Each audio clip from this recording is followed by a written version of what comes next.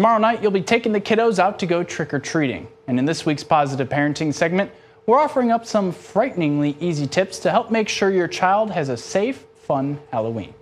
33 News reporter Samantha Bender explains. Halloween. It's a highly anticipated holiday. Children are ramped up. They're so excited. They've been waiting for this for months. Um, they're so excited to show off their costumes. So they're in trick or treat, Halloween, have fun mode. So, as a parent, you need to be in safety mode. Bill McMahon, Akron Children's Injury Prevention Coordinator, says candy safety is always a big concern, especially when kids have all kinds of different diabetic and nutritional deficiencies.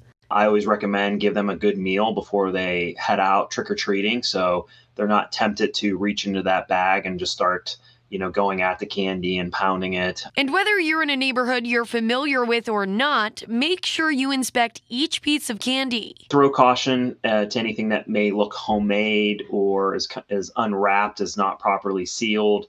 Uh, unless, of course, you know um, those people really well. And it's getting darker earlier here in the valley, especially as we approach daylight saving time. McMahon says we see the highest percentage of children hit by cars on Halloween overemphasize with them that we don't run out between parked cars uh, because oncoming traffic may not be able to see them.